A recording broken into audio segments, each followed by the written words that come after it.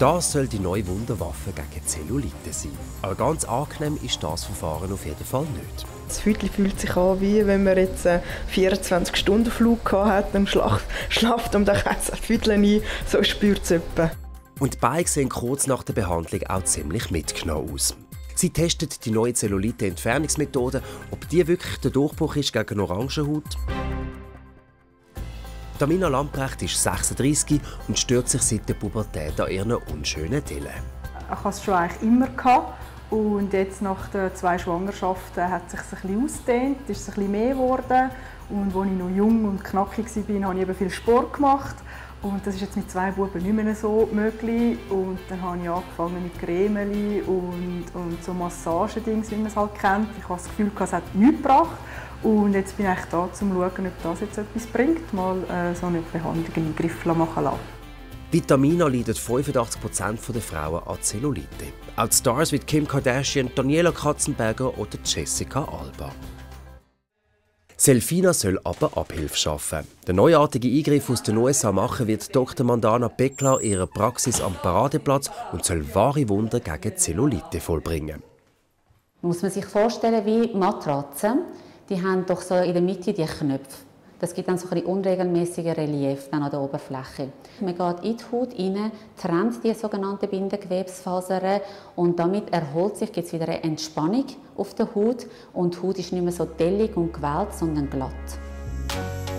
Damina hat eine mittelschwere Zellulite. Die Behandlung kann der zweifachen Mutter ihre Dellen für immer verschwinden lassen, kostet aber zwischen 3000 und 5000 Franken.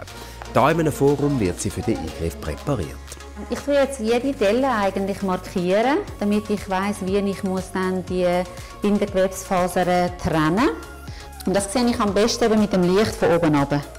Selfina-Gerät saugt Haut bis auf 6 mm an. Jede Delle wird betäubt. Behandlungsrisiken sind angeblich klein, Entzündungen an den Einstichstellen könnten vorkommen.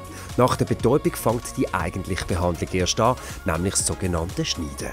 Da kommt auch wieder so eine Schablone, so ein Vakuumteil da drauf. Und das, das Skalpell ist eigentlich an einem Motor angemacht. Und dann gehe ich rein. Achtung, jetzt gibt es einen Ton, nicht verschrecken. Und so trenne ich dann das. Und das mache ich jede Delle einzeln. Also jetzt äh, spüre ich eigentlich weniger als vorhin bei den Spritzen. Es ist jetzt nur noch so ein dumpfes Gefühl. Und äh, das Brutale ist eigentlich das Geräusch, das du hörst, also Zagi. Nach gut zweieinhalb Stunden ist der Eingriff vorbei. Der Kreislauf macht jetzt gerade nicht so mit, aber sonst geht es mir sehr gut. Ähm, es tut auch nichts weh.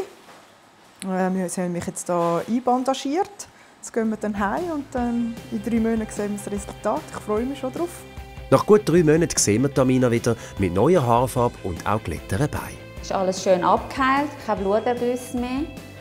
Und man sieht jetzt eindeutig hier, die Dellen, die wir nachher dann zusammen auf dem Foto anschauen, sind verschwunden. Auch vor allem die hier. Super, ich bin zufrieden. Ja. Sehr schön.